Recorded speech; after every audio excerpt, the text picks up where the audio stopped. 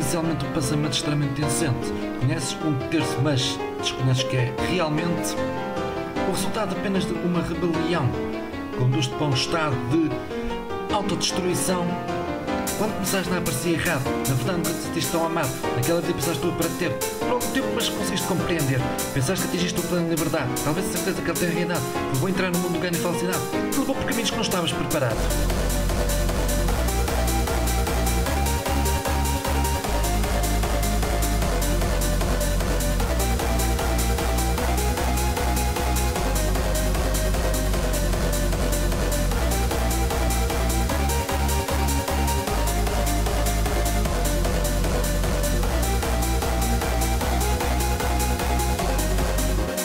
Amizades que antes achavas importantes, com o tempo tornaram-se irrelevantes.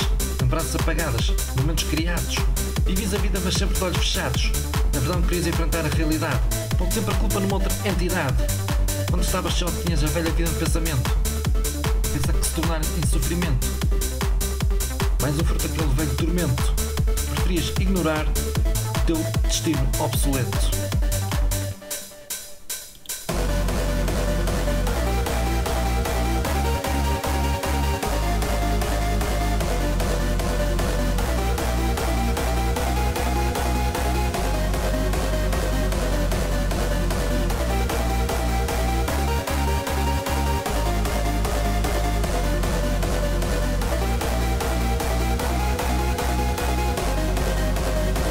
Lado, nada te comovia, nada te preocupava. Tinhas nova companhia, aquelas novas pessoas em que a tua vida confiavas, protegiam-te pela frente, mas pelas costas davam-te facadas.